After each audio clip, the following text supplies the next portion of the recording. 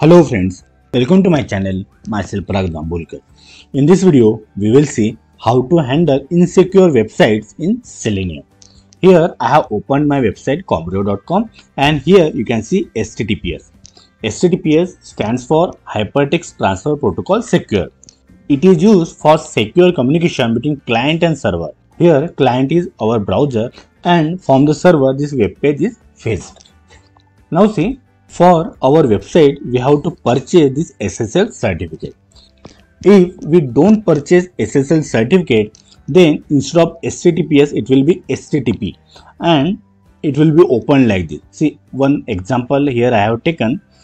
And when we open this website in any browser so we get such kind of message. So if we want to open this then we have to click on advanced. Then we have to click on this proceed to this website name likewise we have to click. I have opened this website in chrome browser. Now see if we open this website in firefox browser so again we are getting message like this. Warning potential security risk ahead. And if you open this website in edge browser so we are getting such kind of message. If we want to open this website in selenium so likewise we can do. So we can click on this advanced then we can click on this link. Likewise also we can do. But there is simplest way to handle such insecure website in selenium. And that we'll see in today's video. Now see. So here i have written code to open this website. Same website that we have seen. So here we have mentioned https but it doesn't have secure ssl certificate. Now see. When I run this program so see browser is getting opened and we got this message right? Now see I want to perform some testing.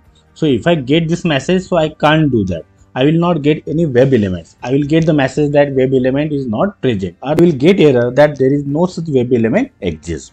Now see to handle such kind of websites there is simplest way and for that purpose we have to take help of one class now see where we have to write that code. When we define this driver, before that, before this, we have to write some code.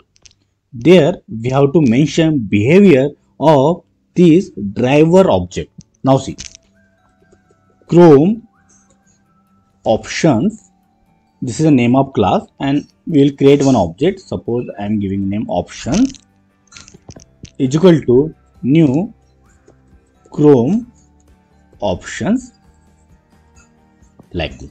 Now so it is showing red line so I'm taking cursor over here so we have to import package for this.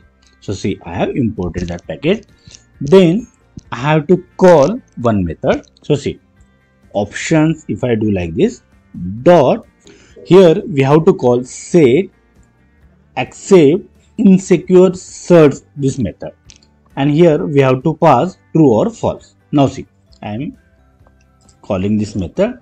So by default it is showing false but here we have to mention true. What is the meaning of this? It will allow browser to accept insecure SSL certificate website. So for that purpose we are calling this method and here we have to mention true. If you mention false so it will not allow.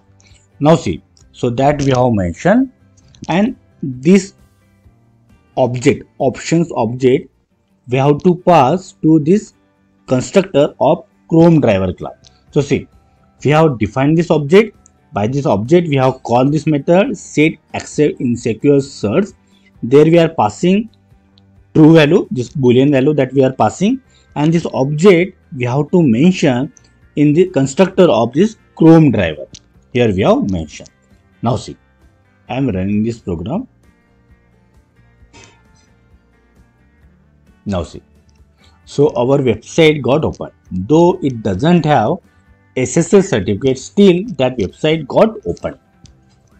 Now see, here we have done it for the Chrome browser.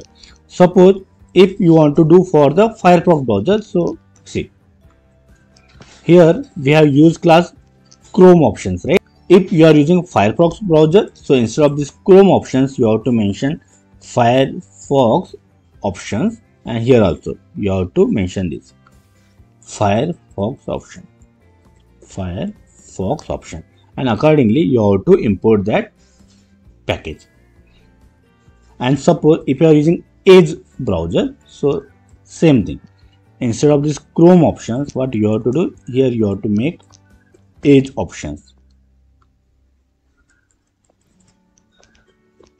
Edge option. And again it is showing red lines so we have accordingly we have to import package in one of our previous video we have seen how to launch firefox and edge browser. So accordingly we have to change this key value pair and accordingly here we have to use our class. Otherwise everything will be same. So friends i hope you like this video. If yes then click on like subscribe to the channel and don't forget to press bell icon so that you will get notification of my next video. So stay connected. Thank you